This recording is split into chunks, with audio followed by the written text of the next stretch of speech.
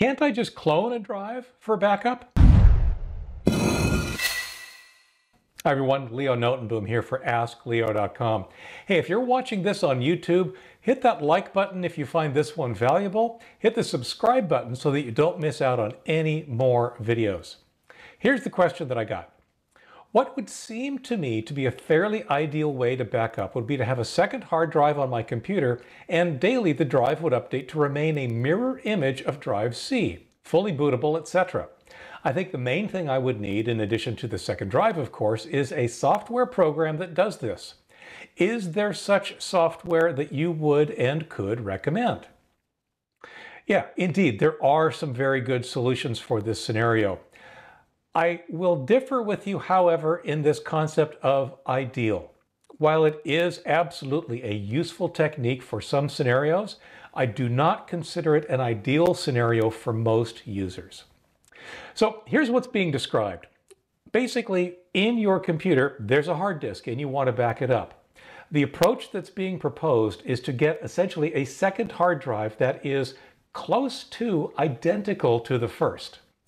Then, using software, mirror, literally mirror or clone the entire contents of the drive that's in use to this second drive and it would have to be a complete clone, the boot sector, all the partitions, everything.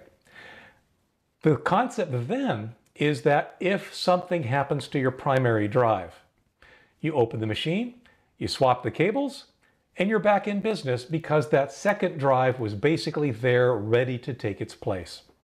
Now, in terms of software to do this, actually there are several. Most of the good backup programs that I often talk about here, including the two that I actually recommend, Macrium Reflect and EaseUS To Do, will both allow you to make clones of one drive to another. There's also software called CloneZilla, which, as its name implies, kind of focuses on this scenario. All of those will work. All of those are good solutions. And if this is a path you want to go down, that's the path I would send you. However, I would not actually have you do this. Instead, I would have you do the more traditional scenario that I've been recommending for years, and that is simply have an external drive. Can be whatever drive you want to get, bigger the better usually, but just an external drive.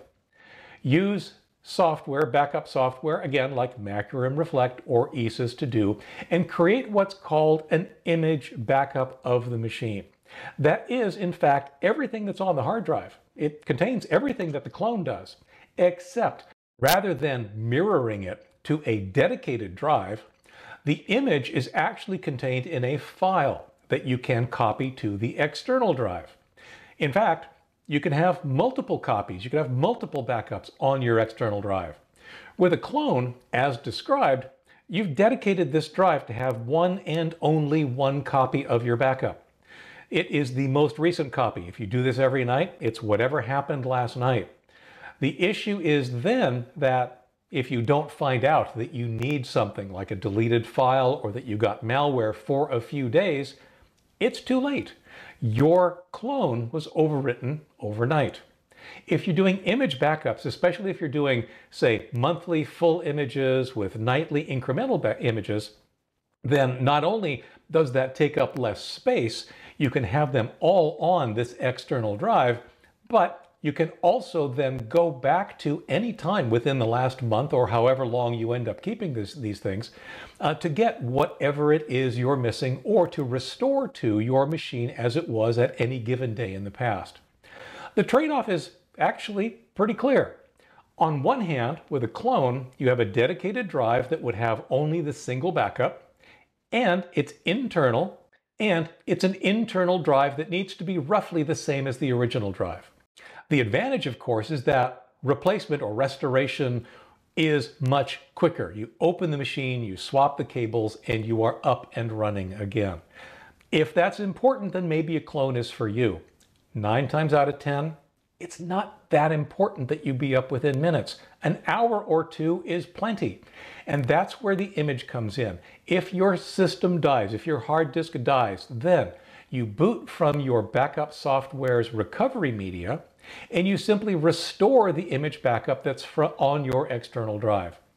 It's the same thing. It just takes a little bit longer. It has all the same information. You just have more opportunities to go back further in the past.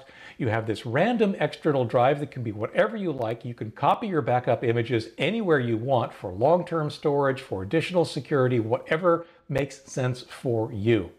So while you can do exactly what you're describing, I advise you don't. I advise you go to a traditional image backup route for much more flexibility when the time comes.